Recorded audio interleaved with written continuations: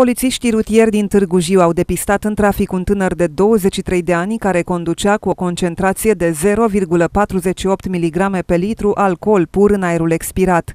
În aceeași zi, un bărbat de 44 de ani din orașul Novaci a fost prins cu o concentrație de 0,58 mg pe litru alcool pur în aerul expirat. Ambii au fost conduși la spital pentru recoltare de probe de sânge. La data de 14 iunie anul curent, polițiștii din cadrul biroului rutier au depistat în trafic un tânăr de 23 de ani din municipiul Târgu Jiu, în timp ce conducea un autoturist pe strada Siretului din municipiu, având o concentrație de 0,48 mg per litru alcool pur în aerul expirat. În cursul aceleiași zile, polițiști din cadrul poliției orașului Novaci au depistat în trafic un bărbat de 44 de ani din orașul Novaci, în timp ce conducea un autoturism pe drumul național 67C Novaci, iar în urma testării cu aparatul etilotest a rezultat o concentrație de 0,58 mg per litru alcool pur în aerul expirat.